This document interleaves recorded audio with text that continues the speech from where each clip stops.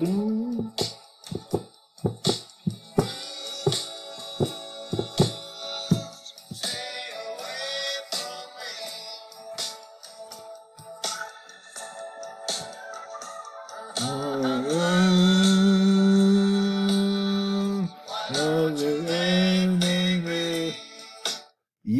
welcome back. All right, here we are. Um, we're back. We are back at it. Okay. Um, so as I mentioned, um, you know, today what we're going to do, we're going to be reviewing uh, just some stuff that we reviewed before our little spring break here. Okay, and that's it. It's just four questions today, and then we will be done. Um, you'll have, and then there'll be an exit slip as well. But there, I explained that all in the other video. All right. Um, all right. So today our song of the day was "Blue Stay Away from Me" by the band. Great song. Also a great band. If you haven't heard of them or, or listened to one of them yet, they are. Yes, their name is the band. Okay. They actually uh, Martin Scorsese did a documentary called "The Last Waltz." Um, it was their last concert, uh, and it was it's a very famous documentary. It's a DVD. I recommend taking a look at it if you're a fan of that type of music.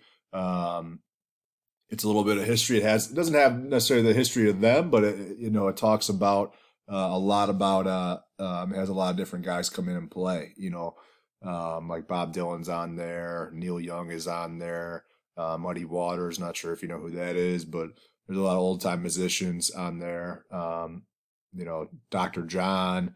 Uh, the it's really interesting. It's pretty good. I would highly recommend it. Um, if you know I don't know where you can find it. I don't know if it's streamable or not, but I'm I'm sure you guys are pretty good at tech, so you can probably figure it out.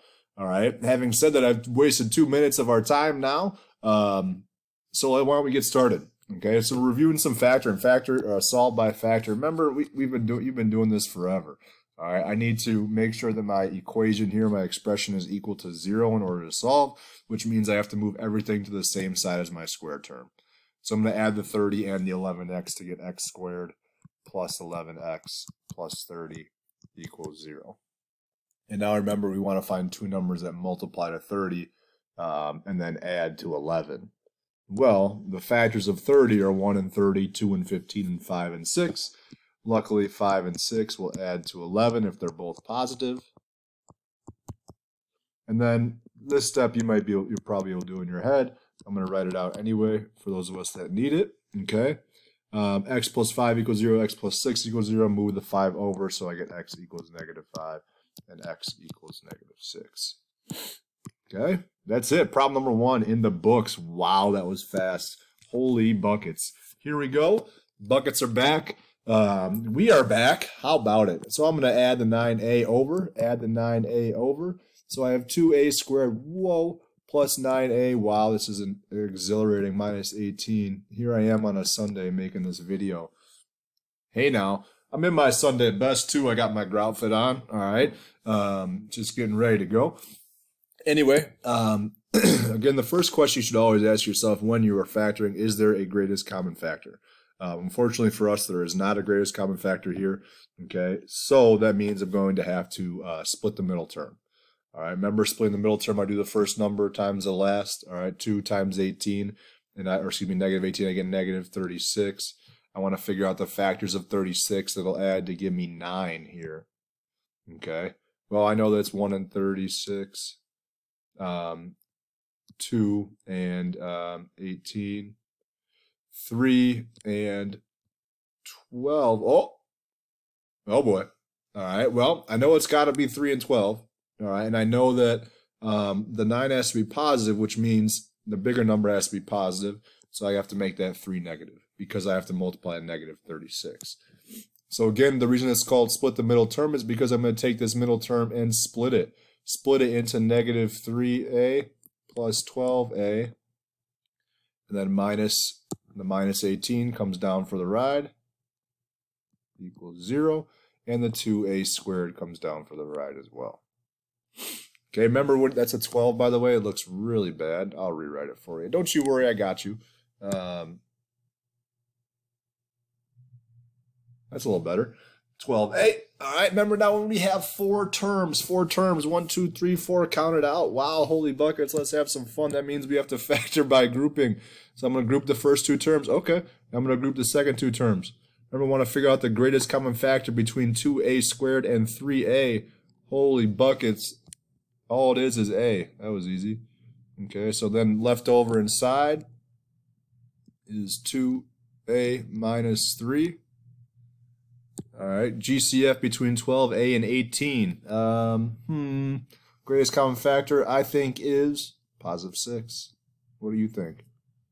Do you think so too? Oh, oh, I'll drop the stylus. Do you think so too? Okay, good. Um, I can't lose this because if I break it, like I'm done for. I have to use my finger and nothing will make sense. All right, so I take the 6 out. I get 2a minus 3 again, and that equals 0 comes down for the ride. Now look, our two parentheses match. That's a good thing. So our two factors are a plus 6 and 2a minus 3. Again, that's equal to 0. I have to solve. All right, this I should get a equals negative 6. This one, some people may struggle to do this in their head, so I'll write out the steps. 2a equals 3 a equals 3 over 2. There we go. All right. Two more. I'm going to pause for a second here. All right, my phone's going off here. Not really, I just need to pause. And we're back. So here on this one, we're going to solve by completing the square. All right, remember to complete the square, I need to move, I need to move my c to the other side, so I'm going to add 37. So I get m squared minus 4m plus, remember we're doing now, now we have to do the plus blank, equals 44 plus blank. Okay? Uh, remember to find our blank term. I take negative 4 divided by 2, which is negative 2, and then square it, which is 4. And that goes in here. Okay? From there, I want to complete my square. All right, I want to factor this down. So this becomes m minus 2. Remember, it's minus 2. Whoops. Minus 2 squared equals 48. Remember why this is negative 2? Well, because this right here is negative 2. All right, they go hand in hand. Okay. Now, this is where we kind of stopped um, when we were doing vertex form. Remember, to solve now, we're wanting to solve. So I need to get rid of the squared. So to get rid of a squared term, I take the square root of both sides. These these drop out. I get m minus 2 equals square root plus or minus 48. Now 48 can simplify. I can simplify that radical.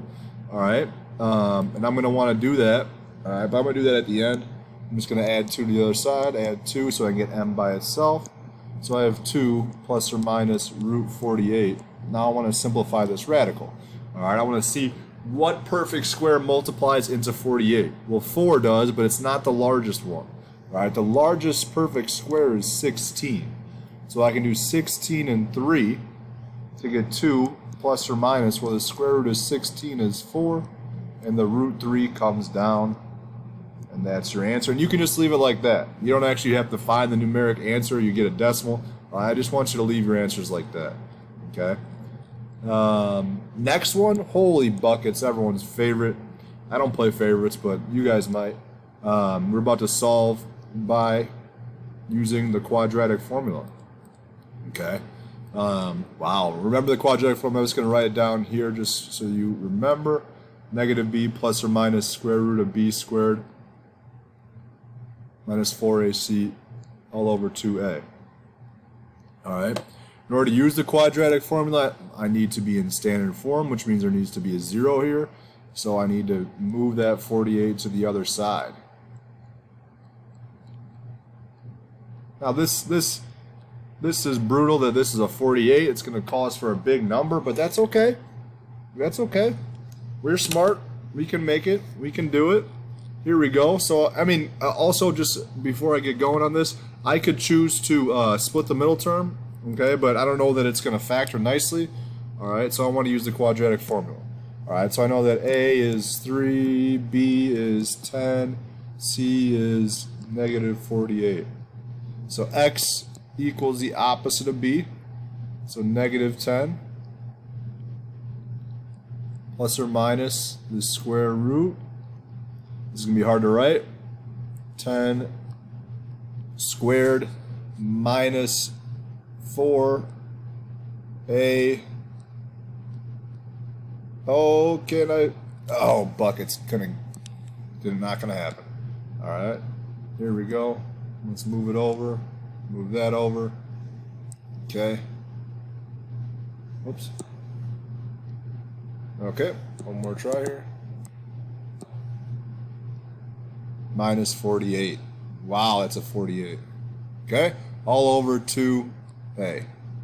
All right, I want you to pause the video here and I want you to try to simplify this yourself. Okay, then check your work when you are done. All right, so um, I got 676 underneath the square root, all right, underneath my radical here. All right, luckily for us, 676 squared 676 is 26. So this this part tripped some people up. So that's why I paused it or came back here.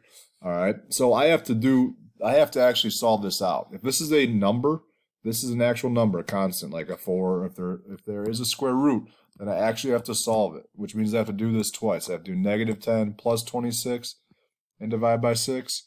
And I have to do negative 10 minus 26 and then divide by 6 and get two answers, okay? Um, from there, we're good. You know what I mean? Um, negative 10 plus 26, so that's 16. 16 over 6, which is 8 over 3.